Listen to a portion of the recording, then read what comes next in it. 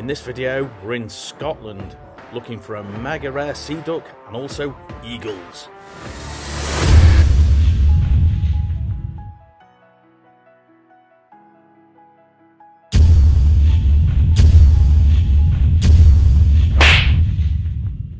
For those who hadn't seen the last video, we're doing a near week touring around the UK. And at this point, well, you've guessed by the intro, we were in Scotland. And our first stop was Musselburgh near Edinburgh, where a very, very rare sea duck had been there for a while. The bird we were looking for, and I hope I pronounce it right, is a Stejneger's scoter. With some haste, we walked through the Musselburgh Lagoons Reserve to the seawall Walking along the seawall, there were plenty of eiders in close, but no sign of our target bird yet. Luckily, there were some other birders there, so we wandered over to see if they'd seen the scoter. And, with a stroke of luck, they had.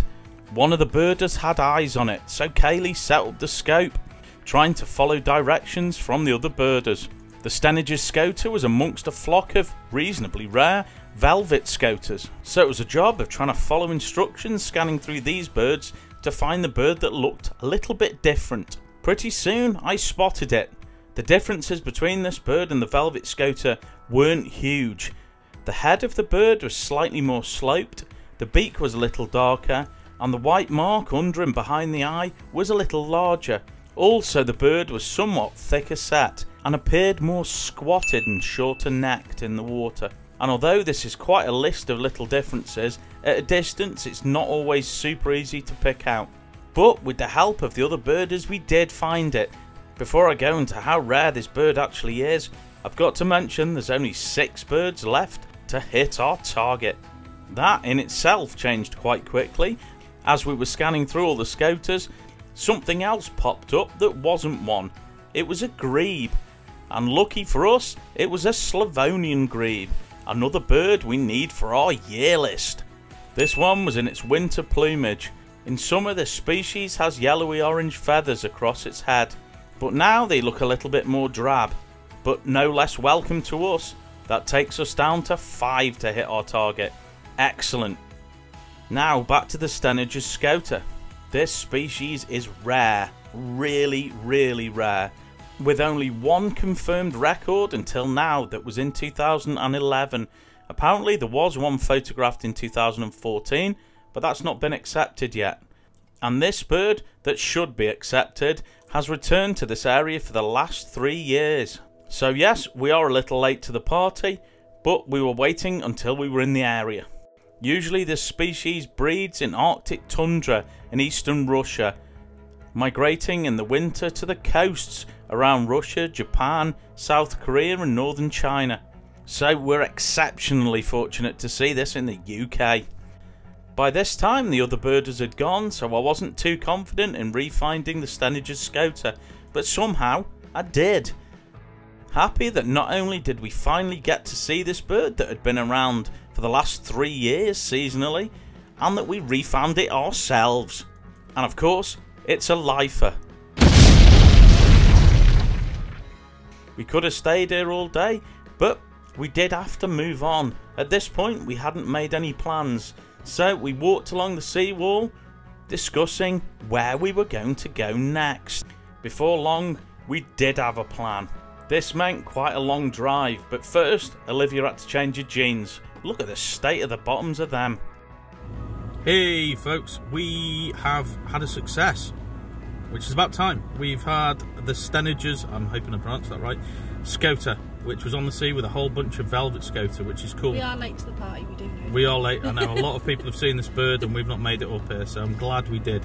It was at a bit of a distance, but according to one of the other birders there, it's the closest it's been that he's seen. So, so that's pretty cool. We also got an extra bird in the shape of a Slavonian grebe, which is super. So that's two for today. Right, we're off on for a big drive now to Oban as we've got a ferry booked for 8 o'clock. So on to Mull tomorrow. Keep with us. We drove from eastern Scotland and Edinburgh all the way to the west to Oban, where we'd booked a ferry to go over to the island of Mull in the Inner Hebrides.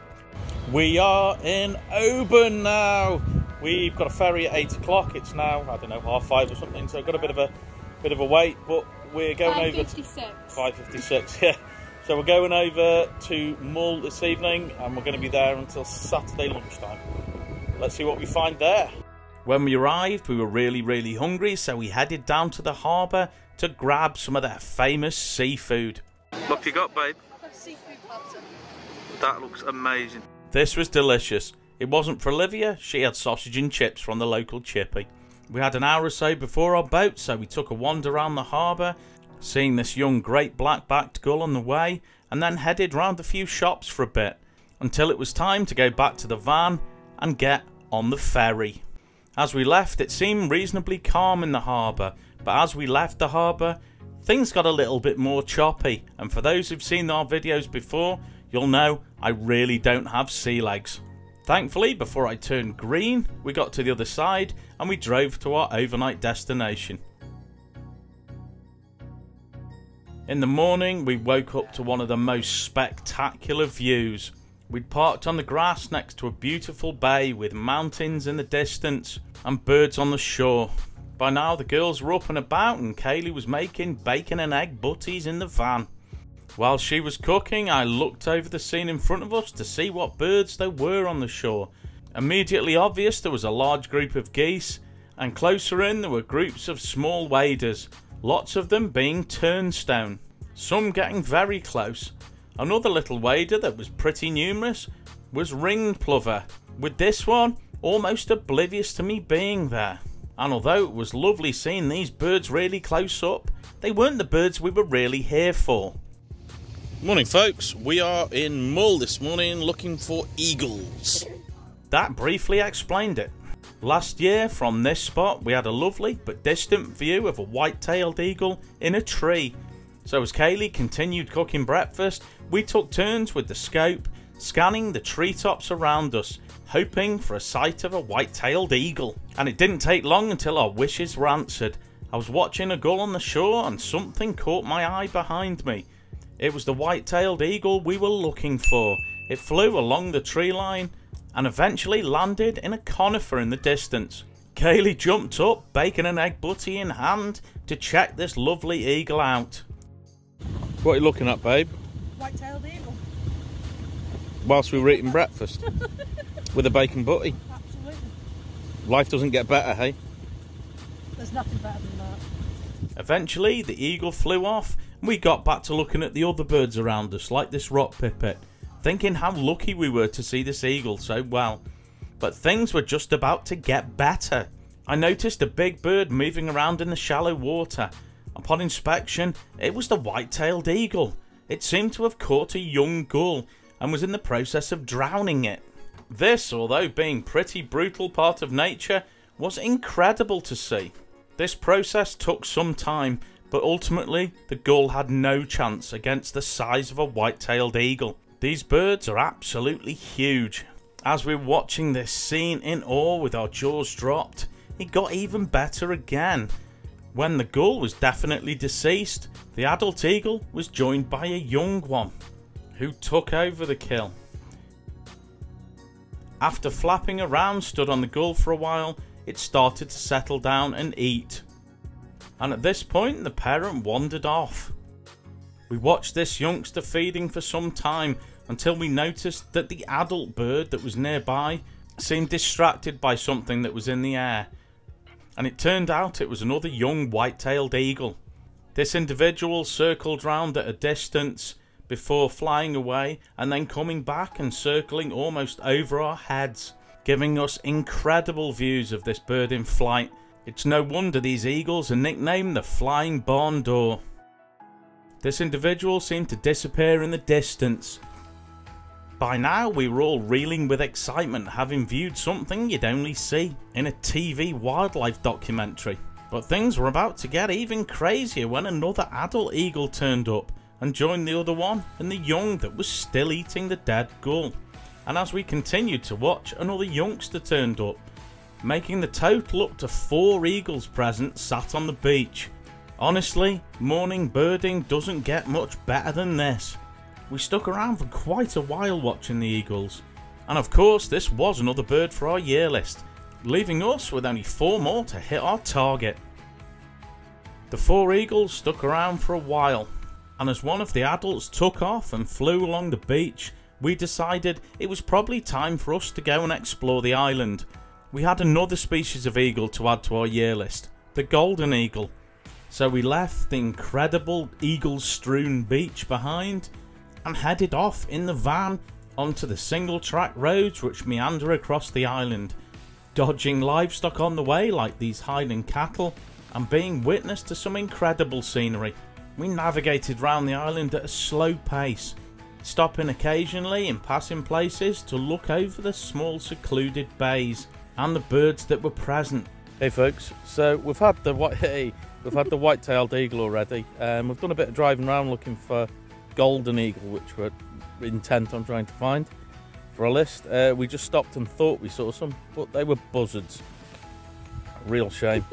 this island's beautiful, eh? absolutely stunning, Mull's just breathtaking. incredible. Right, we're going to get back on the road and keep on driving around, see if we can find our golden eagles. We did notice a good number of female goosander, or at least I think the female, if not they're young birds. We didn't see any males at all. I'm not sure why this is, so if you know, please tell us. One thing we did notice is there seemed to be a grey heron fishing in almost every little bay, and as we were exploring, when we found some parking, we'd often stop, if only just to take in the scenery. At one point, we had a little lunch stop in a bay with some boats, where I did notice a few hooded crows sat on the boats. This species replaces the all black carrion crow in northwest Scotland, Ireland, and the Isle of Man, and I think they're pretty cool. By this time, we still hadn't found any golden eagles, so drove into the middle of the island away from the coast. This area was incredibly picturesque with mountains and small locks. We did spot this field of deer and yet more buzzards. Having failed so far to find a golden eagle, we headed back through the island towards the coast again and on to the north of the island to the main town in Mull, Tobermory. Hey folks, we've had a day of driving around Mull, which is an absolutely spectacular place. We haven't found the golden eagles yet, although we had amazing views of white-tailed eagles this morning. Um, we're finishing off our evening currently. We're in Tobermory, which you may recognise from a kids' TV show a while ago called what was it called? Balamory. Balamory. She was slightly obsessed. Yeah, she was a bit obsessed. We're gonna have a quick wander around and then head back to our parking spot and try again in the morning before our kind of midday-ish ferry. As we wandered from the car park into town, there was a little stream, and sat on one of the rocks in the stream, there was this beautiful grey wagtail. We continued on past the harbour into the town. By now, though, it was after six, and most of the shops had closed. So Olivia decided to have a paddle in the sea. She went in first in her wellies. These got waterlogged, so she took them off and ran in in leggings and socks. Rather her than me, it's too cold for me these days. Eventually, before it went dark, we headed back home with a wet Olivia, passing this lovely stag on the way. When we arrived back, we made a late dinner. Well, it was more like supper because it was nearly nine o'clock, and we watched the sun go down. It had been an incredible day, having mental views of white-tailed eagle, and although we didn't get the golden eagle, there was still the next morning. So we called it a night and went to sleep. We woke up to a really bright day, with a group of grey lag geese in front of us on the estuary and some feeding in the field behind us. As the girls were getting ready, I wandered on the beach to see what was about today, and I was greeted by a few smaller birds, like this lovely pied wagtail that was feeding close by. And as I was sat on a rock watching that wagtail and some others too, this amazing meadow pipit landed on a rock only a few feet away from me, giving me incredible views. It was at this point I realised I hadn't seen the white-tailed eagles yet, so I began to scan the treetops and the shore in front of me. And it didn't take me long to find the two juvenile birds. They were well in the distance on the shoreline, but as much as I looked around, I couldn't locate the parents. So we all got in the van and set off on the road again, slowly towards the port. We only had a couple of hours as our ferry was at around lunchtime, So we drove round taking in the last views of this beautiful island and the lovely wildlife that's here. We did stop at one point as there were many little birds on a piece of grass. These turned out to be turnstones. As I was scanning through them, I noticed one that was still in near summer plumage. What a stunning little bird. Further down the road, we noticed a little bird jumping about on some rocks. This is a wheatear. This individual, and every other wheatear in the Northern Hemisphere, will soon migrate to Africa for winter. Safe journey. Hey folks, we're still looking for golden eagles. We're uh, taking a route through kind of um, the middle of the island and then onto the ferry for a bit, but we're hoping on this drive we might see something that isn't a buzzard. or, a kestrel. or a kestrel, because we've seen lots of buzzards and kestrels, but still no golden eagles yet. Stunning though. It is absolutely beautiful. Just everything Just is just breathtaking, yeah. Wow. Our trip to Mull was nearly over as we drove nearer and nearer the port. And although we hadn't got the golden eagles, it had been amazing. And as we boarded the ferry, we were all a little sad to leave. Regardless, we did have to. And luckily for me, the sea was much calmer than our crossing here. So we stood on the deck and watched Mull disappear into the distance. There were some birds on the sea here, mainly gannets, with some flying past and some sat on the sea. There were also a few guillemots too, but unfortunately I didn't get any footage of these because they were at quite a distance. Pretty soon as we got closer to the mainland, Oban came into sight. And not surprisingly, we had a flyover from another buzzard. Hey folks, we're off of Mull now, unfortunately. We're going to miss it. I know, yeah. I don't want to go on. Sad. Although we did have to head back towards home, this had been an amazing trip to Scotland, and especially Mull, with its breathtaking scenery and amazing wildlife. It's a place I would truly recommend visiting, with the only warning, it's tough to leave. It's been a really cool week. We picked up, Amazing. Yeah, We had so much fun. I saw Yeah. Highland cows. She I saw got a Highland cow tattoo. yeah, she's she's over the moon. We saw uh, at least five new species for the list. I want to check all my buzzard photographs just in case there's a golden eagle in one, but uh, I'm not holding out too much hope for that. We've Still got five more to go. We've still got five more to go. Um, we had great views of white-tailed eagles, uh, Stanages scoter, which was a lifer for all of us, bar-tailed goose, bar, bar-headed goose, mind my French, which was a lifer for Kaylee. What? So that was excellent, and we've seen a lot of the UK too. Anyway, thanks so much for watching. Please like, Please subscribe. live, and please press the notification bell. We should have We're rehearsed this, going home shouldn't for we? a shower now. It's been a Yeah, we need to week. go. See you soon. Bye bye. We did make a small stop on the way back, but that's in the next video. See you soon.